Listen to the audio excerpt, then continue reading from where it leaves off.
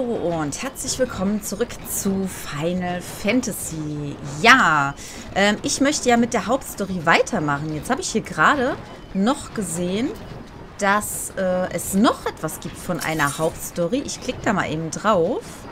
Möchte dir etwas über die Materia-Extraktion erklären. Okay. Also ich bin ganz ehrlich, ich würde jetzt gerne mit der Hauptstory weitermachen, aber nachher vergesse ich, dass dieser Typ hier steht. Und da er mir nur was erklären möchte, würde ich sagen, schieben wir das mal eben schnell dazwischen. Waffen oder Rüstungen, die sich lange im Gebrauch befinden, nehmen einen Teil der Persönlichkeit ihres Besitzers an. Es ist, als ob das Material selbst eine Seele hätte. Du glaubst mir nicht? Ich werde es dir beweisen. Es gibt eine Methode, diese Seele in handfeste Eigenschaften eines Gegenstandes zu verwandeln. Materia-Extraktion nennt sich das. Damit zieht man Energie aus einem Gegenstand, zu dem man bereits eine hohe emotionale Bindung aufgebaut hat, und formt sie zu sogenannter Materia. Mit dieser Kristall kristallinen äh, Substanz lässt sich ein Ausrüstungsgegenstand veredeln. Okay. Er übernimmt Eigenschaften von der Materia. Wenn es dich interessiert, dann weihe ich dich in die Geheimnisse der Materia-Extraktion ein. Also ich habe jetzt irgendwie nur die Hälfte verstanden, aber ja, klar interessiert mich das. Gut. Die Seele des ursprünglichen Gegenstandes schlummert nun in der Materia. Man kann sie in einen neuen Gegenstand transferieren und ihn so veredeln. Die Seele von Gegenständen ist so unberechenbar wie die von Lebewesen. Man kann nicht sagen, welche Eigenschaften eine Materia zeigen wird. Die Materia kann nur mit einer besonderen Technik angebracht werden. Wer keine Zeit hat, diese Technik zu erlernen, kann auch einen erfahrenen Handwerker oder die Materia-Ersetzer beauftragen, Einsetzer beauftragen, die man in letzter Zeit allerorts findet. Wenn du aber die Technik erlernen möchtest, mit der man Materia anbringt, dann sprich mit Fo Fobhas. Äh, wie auch immer. Angebrachte Materie, okay. Ja, äh, ich spreche gerne mit ihm, aber ich habe keine Ahnung, Achso, da hinten ist der. Ähm, warum kann ich jetzt, also beziehungsweise sie, warum kann ich nicht mit ihr sprechen? Achso, ben, äh, benötigt Klasse Job Handwerker. Ein Handwerker auf mindestens Stufe 19. Oh, ist das euer Ernst? Ich glaube, das höchste, was ich habe, ist der Fischer mit 18. Ich guck mal eben nach. Ja, hier steht... Achso, ich habe Levelrüstung 7 an. Ja, aber der Fischer war das höchste und ich glaube, der hat nur 18. Nein, der hat 19. Aber ich kann trotzdem nicht mit ihr reden. Da müssen wir wohl einen richtigen Handwerker haben. Okay. Schade. Das ist wirklich schade. Ähm, das hätte mich doch sehr interessiert. Können wir aber leider nicht machen. Dann gehen wir jetzt einfach mal direkt weiter zur Hauptquest hier. Oh, Großwachsende. Kommst du für Wortertausch zu Mutagenix, ja? Äh, sowas ähnliches. Ich wollte den Dolch übergeben.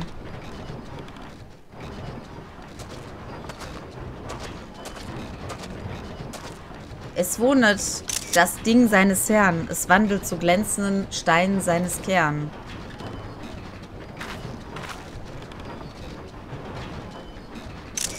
Glänze, Materia, leuchte und strahl. Du bist der Wille des Besitzers als Kristall. Ehre dein Gut, benutze es lang. Wandle es um, sei nur nicht bang. Dann wird es Kristall, der stärkt, was du hast. Setz ihn ein, so du kannst, und er passt. Versuchen wir jetzt eigen selbst, ja?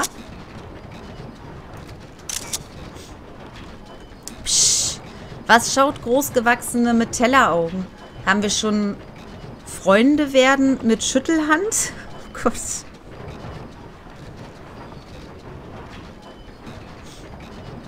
Oh, Minfila hat dich weit schicken hierher. Oh Gott.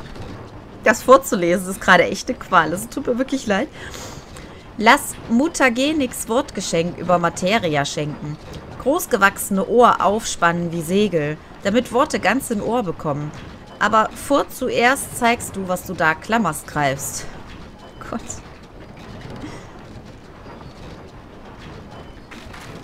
Psch. Stumpf rund wie Gelmünze.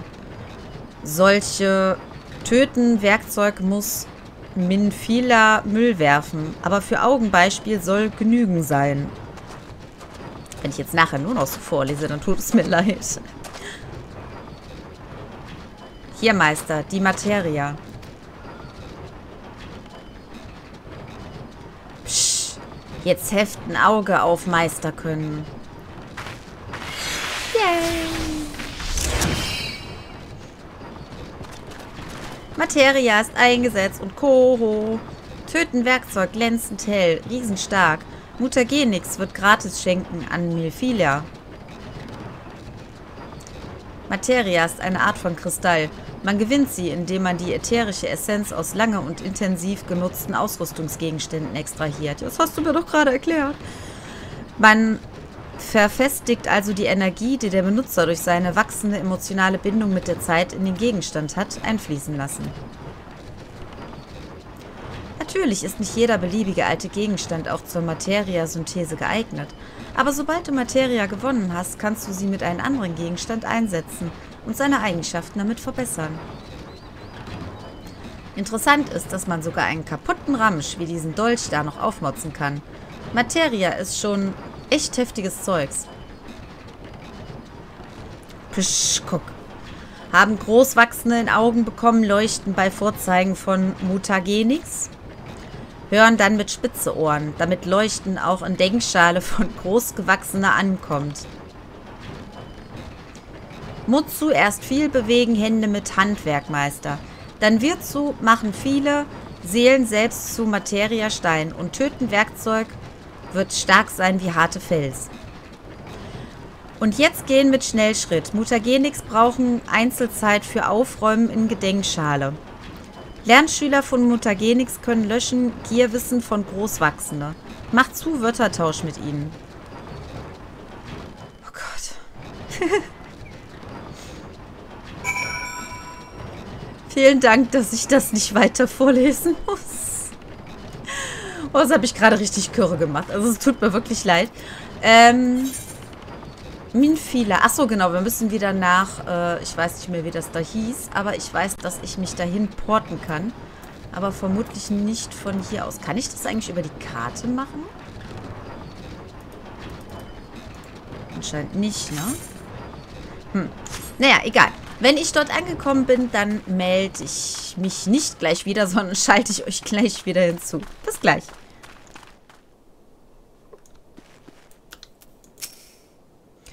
Willkommen zurück, Gameplayerin. Ich hoffe, dein Ausflug zum Feuerhügel war ergebnisreich. Wenn ich was mache, dann immer. Oh, wie meisterhaft. Es ist nicht zu glauben, welchen Unterschied so ein kleines Stückchen Materia macht. Die Technik erfordert zwar zunächst einige Übungen, aber auf lange Sicht macht sich die Mühe auf jeden Fall bezahlt. Du wirst dich noch unzähligen Kämpfen stellen müssen und ganz sicher wird es manchmal eng werden. Materia kann da über Sieg oder Niederlage entscheiden. Diesen Vorsprung solltest du nicht einfach verschenken. Und da wir gerade bei, über Kämpfe sprechen, ich möchte, dass du eine bestimmte Aufgabe erledigst. Tancred hat uns gerade höchst un, un, höchst bedeutsame Informationen überbracht. Mein Gott. Wenn man sich mal in ein Wort festgebissen hat. Der Herr des Infernos, okay. Es gibt eine neue Entwicklung in dem Entführungsfall, den du untersucht hast. Wir haben aus Ungust dem falschen Priester herausgepresst, wo und wann er mit Amaljar Handel treiben wollte. Die Amaljar wissen auch nicht, dass wir ihn enttarnt haben, und das wollen wir natürlich ausnutzen. Du, Gameplayerin, wirst als Vertreterin unseres Bundes an der Operation teilnehmen. Das Ganze geht nämlich von der Legion der Unsterblichen aus. Sie haben einen Plan ausgearbeitet und, um, und uns um Mithilfe gebeten. Mein Gott. Wir setzen großes Vertrauen in dich. Tancred wird später auch zu euch stoßen. Ich hoffe, dass uns dieser Einsatz endlich enthüllt, wohin die Flüchtlinge und die Kristalle der Amagin AG verschwunden sind. Und nicht nur das, falls wir diese Mission erfolgreich bewältigen, können wir auch der Lösung des Primae-Problem und einen bedeutenden Schritt, um einen bedeutenden Schritt näher kommen.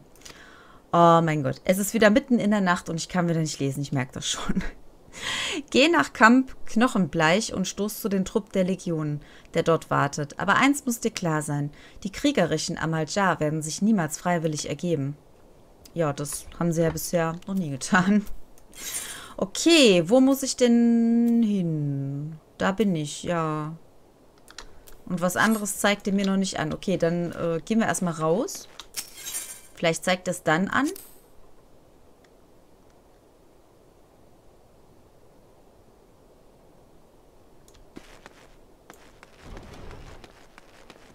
Wenigstens kommen wir noch raus. Was ist denn hier drin eigentlich? Da hinten sind wir auch noch nie gewesen.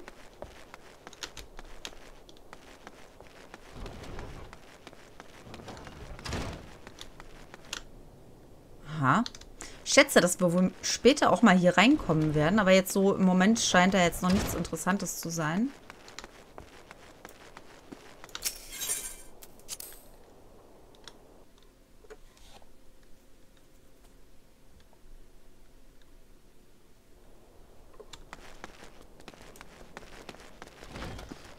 So, mal schauen. Vielleicht zeigt er mir jetzt an, wo ich hin soll. Äh... Ach so, ja klar, ich bin ja da hinten. Ach, ich bin ja auch sowas von blöd. Kamp Knochen. Kamp... Boah. Kamp Knochenbleich. Da kann ich unter Garantie wieder nicht einfach so hinporten. Deswegen werde ich das jetzt einfach mal gegen Bezahlung machen. Das ist mir... Nein, nein, nein, nein, nein. Fuck. ich wollte eigentlich jetzt so die Karte schließen. Aber ich habe anscheinend noch nichts ausgegeben, bevor ich das jetzt gemacht hatte. Ja, so sieht es dann aus, wenn man das erste Mal einfach aus Faulheit von A nach B portet. Weil ich absolut sowas von keine Lust habe, jetzt die ganzen, äh, den ganzen Weg wieder zu laufen. Jetzt bin ich nur gerade am Schauen, weil das ist der mit den Freibriefen. Das ist aber nicht hier drin. Oder ist der irgendwo oben? Nee, jetzt steht er doch. Ha. Die Vertreterin des Bundes der Morgenröte. Mehr Leute haben die nicht. Nicht gerade ein mächtiges Aufgebot. Oder wie siehst du das? Aber wenn du dir das zutraust, also hör zu. Wir wollen uns ein paar Amaljar schnappen und sie dann ausquetschen, bis sie uns sagen, was sie mit den entführten Flüchtlingen angestellt haben. Und Ungus, den zwielichtigen Gesellen, benutzen wir als Köder. Die Echsen wissen ja nicht, dass seine Tarnung aufgeflogen ist und werden nichtsahnend heranwackeln, wenn er mit ihnen handeln will. Und dann werden wir ihnen zeigen, mit wem sie es zu tun haben. Kapiert? Klingen schärfer als Hyänenzähne und Fäuste härter als Granit. Das ist unser Leitspruch. Sag mal, Staubhäschen, gehst du mal vom Hinter von dem Typen da weg? In unserem Distrikt werden nicht einfach unschuldige Bürger entführt. Dein Posten ist bei der unsichtbaren Stadt. Warte dort auf Feinkontakt oder bis ich dir andere Order erteile. Machen wir dem lustigen Treiben der Echsen ein Ende. Also, ab geht's. Okay. Wenn du mir jetzt noch sagst, wo die unsichtbare Stadt ist. Äh, wir sind hier unten. Dann müssen wir da hochgehen. Okay. Gut, dann werde ich mich jetzt mal aufmachen. Ach, das war dieses Dorf, wo man nur auf einer Seite rauskam. Und werde euch gleich hinzuschalten, wenn wir bei der unsichtbaren Stadt sind.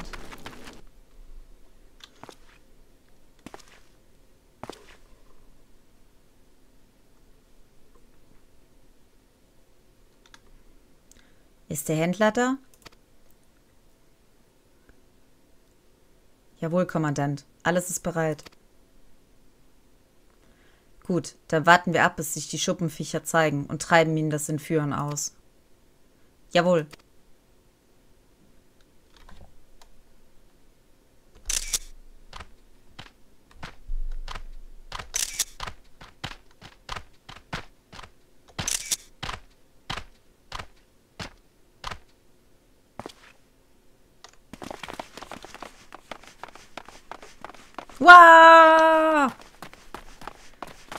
Was hat das zu bedeuten? Irgendetwas stimmt hier nicht.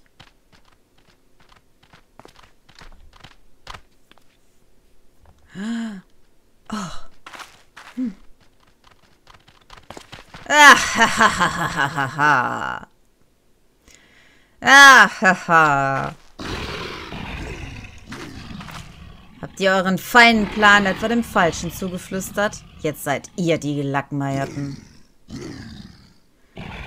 Na, jetzt ist euch sicher klar, wie ich die Hampelmänner eurer Legion so lange umgehen konnte. Da gab's wohl einen Verräter in den eigenen Reihen. Hahaha. Tja, wer das wohl gewesen sein könnte. Das sieht ja hässlich aus. Muahaha. Ihr Dummköpfe, ich kann jeden eurer wirren Pläne. Kaum, dass ihr ihn aus euren weichen Hintern gepresst habt. Tja, dann will ich euch nicht länger aufhalten. Ihr habt ja noch was vor. Den Löffel abgeben nämlich. Bitte, Sie ignorieren ganz... Äh, Sie, bitte, Sie gehören ganz euch, liebe Freunde vom Stamm der Amalja.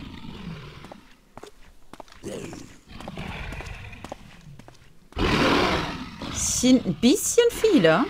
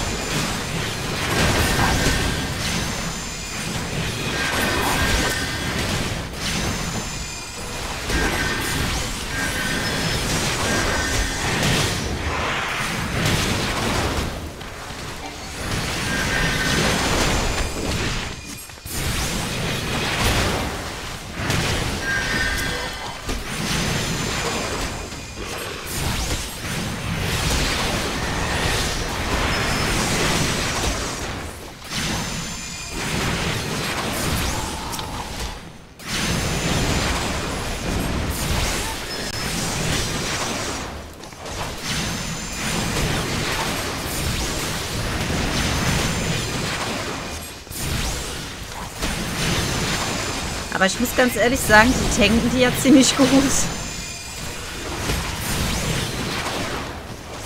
Wieso mache ich hier keinen Schaden? Das verstehe ich nicht.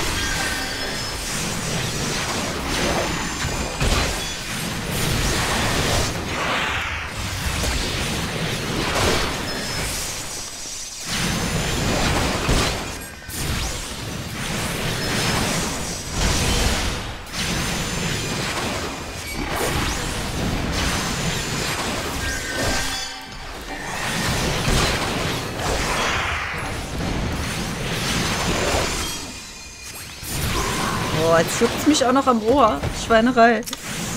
Ah!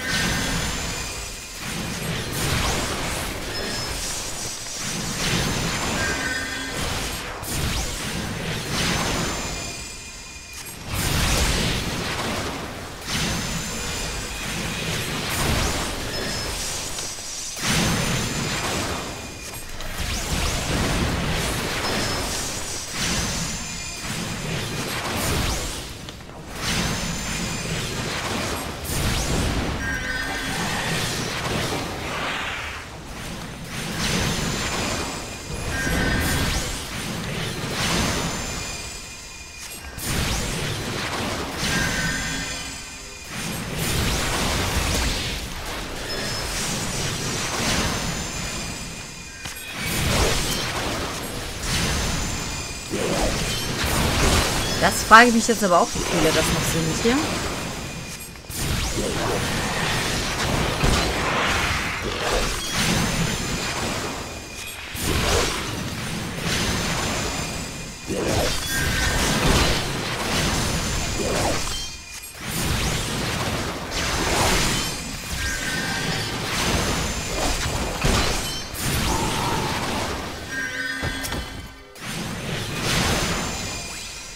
Ich habe aber irgendwie das Gefühl, dass der immer wieder höher geht.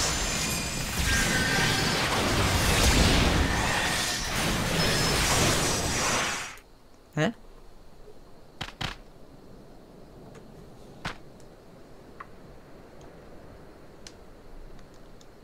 Hallo? Ich war gerade noch nicht alleine.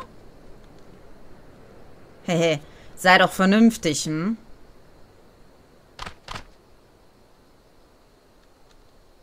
Pass auf!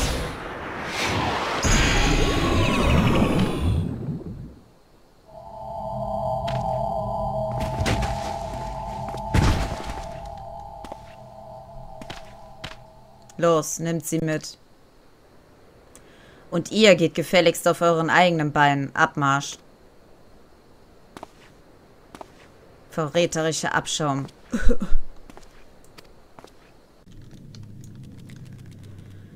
Ja. Legionär-Ausgang. Okay. Wenn mich nicht alles täuscht, wollen uns die Amalja ihrem Gott opfern. Aber wenn ich sterben muss, dann wenigstens im würdigen Kampf. Grab der Lohe ist nun zugänglich. Okay. Äh, aber wie? Ach so, da hinten. Okay. Bevor ich da jetzt aber reingehe, schaue ich noch mal ganz kurz, ob ich hier irgendwas optimieren kann. Ja, die Eschenmaske. ähm, gut, dann das wäre Blödsinn. Aber der Bindegürtel, den kann ich anlegen. Weil sich die Position der Gegenstände geändert hat? Hä? Weil ich den jetzt anhabe. Ach so, okay. Ja, ähm... Das war das andere, das war die Maske, ne? Das ist, glaube ich, unter Hüte 9 und 19. Okay, dann ist die definitiv besser. Dann legen wir die Maske jetzt... Ach so, wenn ich die Maske anlege, dann ist das Oberteil wieder weg. Wollt ihr mich denn eigentlich veräppeln oder was? Oh Gott. Ähm... Handprobe 9 und 19, 14 und 28.